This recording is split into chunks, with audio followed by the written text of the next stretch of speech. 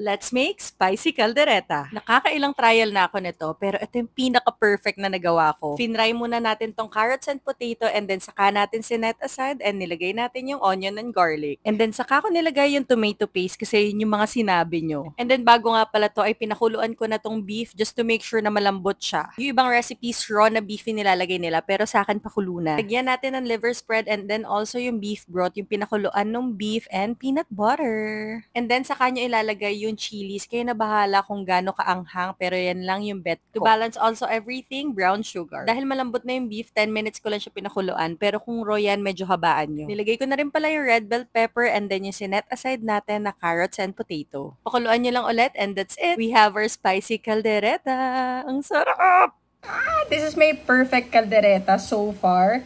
Na-achieve ko yung, alam mo may oil-oil kahit papano. So, titikman na natin.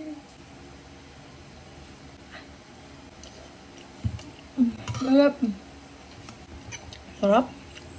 Sarap, ang sarap lang. Papatigyan ko kay Jeff. Sarap ayaw niya magpakita sa video. Sarap. Comment ka ng malakas ha. Ang totoo. Sarap, sarap. Masarap. Na-achieve ko na. Guys, sobrang hirap magluto ng kaldereta for me. And this is my best recipe so far. Tag me kung gagawin nyo rin to.